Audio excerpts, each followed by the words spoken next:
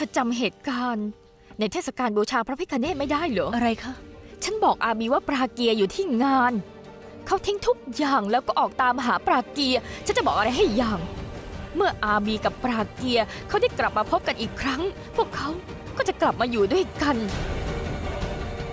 พวกเขารักกันอย่างสุดหัวใจเลย พวกเขาเกิดมาเพื่อกันและกัน วันที่พวกเขามาได้พบกัน พวกเขาก็จะลืมอดีตทั้งหมด ความรักจะนำพาให้กลับมาครองคู่กันอีกครั้งหนึ่ง พวกเขาจะคิดถึงแต่ความรักที่มีให้กัน ฉันพยายามอธิบายให้เธอฟังว่า อาบีและปราเกียนะเกิดมาเพื่อกันและกัน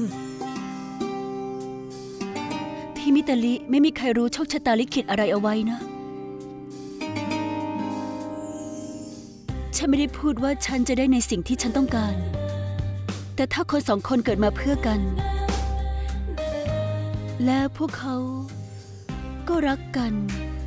ทำไมถึงจะอยู่ด้วยกันไม่ได้ล่ะคะ บอกฉันที พี่บอกฉันได้ไหมพี่มิตาลิ บอกฉันมาสิ ทุกอย่างนะ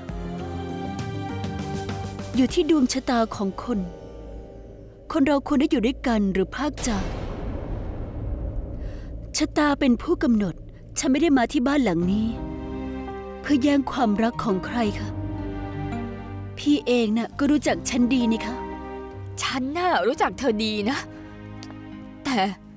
อาบีล่ะ ฉันไม่รู้ถ้าเขารู้ ถ้าเขารู้มัน มันจะเกิดอะไรขึ้นบ้างล่ะ ฉันไม่รู้ว่าจะเกิดอะไรขึ้น แต่ฉันไม่กลัวค่ะ เพราะฉันรู้ความจริงที่ว่าสิ่งที่ฉันทำมาตลอดมันไม่ผิดเลย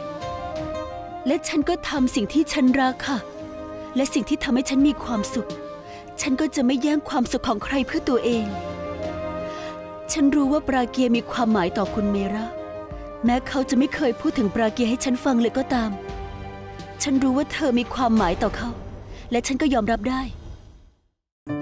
คู่แท้พรหมลิขิต 6 ทุกวัน เวลาหนึ่งทุ่มครึ่ง